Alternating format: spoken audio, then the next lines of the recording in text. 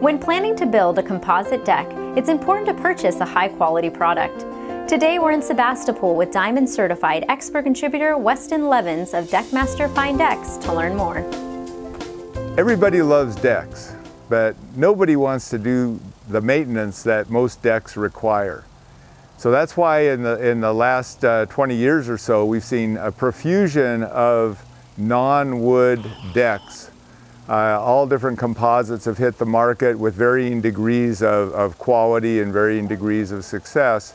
Some have had real problems, some have been okay. But the, the big challenge for a composite deck maker is that people don't really want to see decks that look like plastic. And they also don't want decks that get really hot.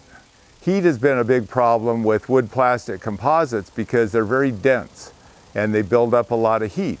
You can actually blister your feet on a hot deck. So the different manufacturers have been looking for ways to reduce the heat on decks and also give them a more natural surface.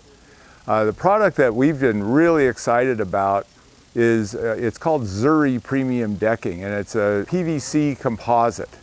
Uh, it actually has a, a, a simulated wood grain. Uh, it looks more natural than anything else and the way it's designed it actually is much cooler to the touch on a hot day. So I just want to show you here, this is the Zuri decking. And you can see how all the boards are different. They actually take a print of the wood. Uh, so it looks more like wood than anything else I've seen. And this surface that they have is actually five times tougher than any other composite decking on the market. It's extremely durable. So dog toenails, high heels, just moving furniture around, really nothing is gonna, is gonna mar this decking.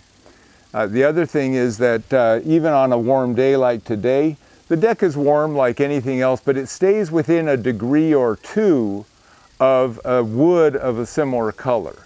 So if you have a real dark wood, it would get hotter, and lighter woods like cedar might, get, might uh, be cooler. So the, the Zuri decking is going to stay within a degree or two of a, a similarly colored uh, wood. Um, and that's about it. It's, a, it's just a great looking uh, deck. They have, it has better fade resistance than anything else we've found. Um, if you have to replace a board in five years, it'll probably match up perfectly with the, with the older, uh, older deck boards.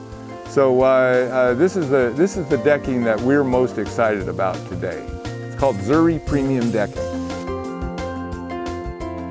To learn more from local top-rated companies, visit our Diamond Certified expert reports at experts.diamondcertified.org.